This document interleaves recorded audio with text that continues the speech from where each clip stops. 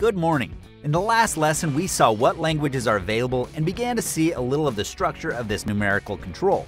Today, however, we will deal with block forms, and that is the definition within the program of the blank to be machined. So let's not waste any more time and get started. I'm Gabriella, he's Paolo, and this is CNC of course.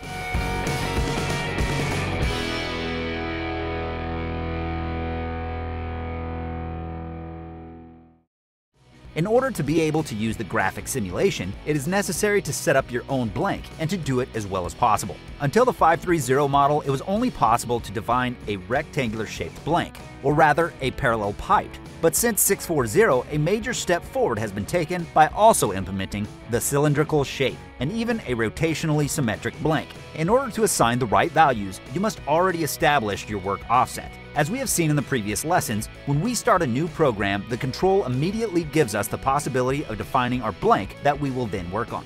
If you have skipped this step, such as now that we are continuing with the program edited in the last lesson, you can set it again using the special function command, spec fct, on the keyboard, followed by the program default soft key, and again block form. Using the soft keys, you can choose between the three shapes available. Let us begin by looking at how to define the shape of the parallelepiped.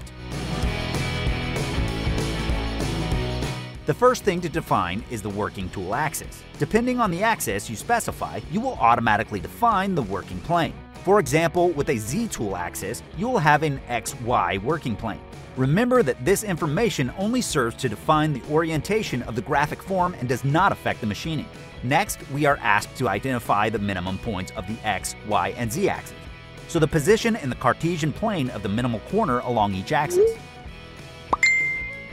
Yes, Paolo. What I mean is that in relation to where you have performed or will perform the work zero offset, you will have to define the limits of your blank. Let's take an example and suppose we have a 100 by 100 plate with a thickness of 20, and considering a work offset positioned at the center in X and Y and on the top face in Z. We will have the minimal point of the X-axis at negative 50, the y-axis at negative 50 and the minimal point of the z-axis will be negative 20, equal to the blank thickness. Once the limits have been set in the negative direction, the dialogues continue with the request for maximal points. The input method is the same, but in addition you have the option of entering incremental values, which will then be interpreted as the distance to the minimal points. So you can enter x plus 50, y plus 50, and z plus 0 if you want to enter absolute values. Or if you want to use incremental, you can enter the orange I key on the numeric keypad and define IX plus 100, IY plus 100, and IZ plus 20. On the other hand, it may happen that your blank does not have this shape, but is a cylinder.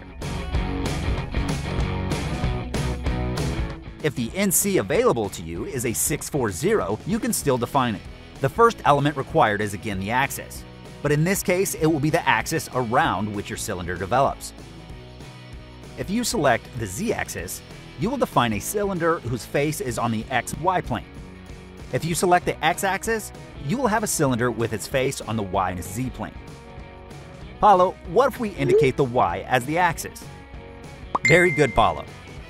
The second thing the control will ask you to do is to indicate the radius or the diameter of your blank, depending on which soft key you select, followed by the length. Remember that the control always interprets the length as a development towards the minus sign, and therefore with the offset at the top.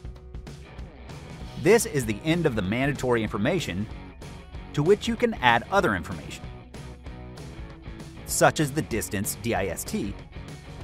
That is how far you have to move your blank if the length indicated does not match the development of the cylinder compared to your zero offset. Say what, Paolo?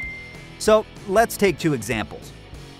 Imagine that our cylinder is 100 in diameter and 200 in height, positioned in the x minus y plane, and that our datum is on the top face.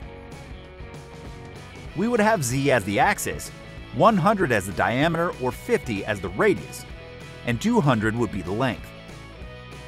But if we were set with a z not on the top face, but at an intermediate point, we would find ourselves in the condition where the length does not accurately represent our working condition.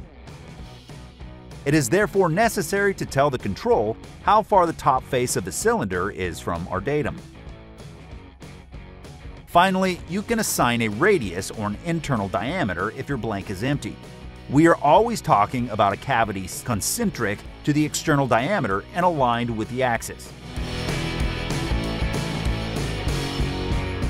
The third way of inserting a blank is to develop a solid obtained from the revolution of a profile.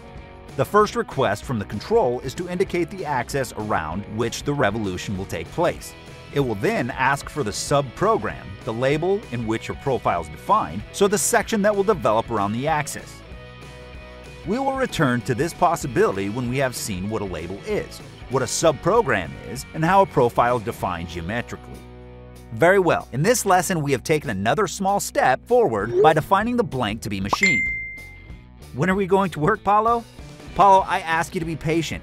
It is very important to see everything step by step and learn how to manage every aspect. Because you receive a drawing in the workshop. All your concentration must be on what to do and not on how to do it. Okay? Don't worry, the chips will come too.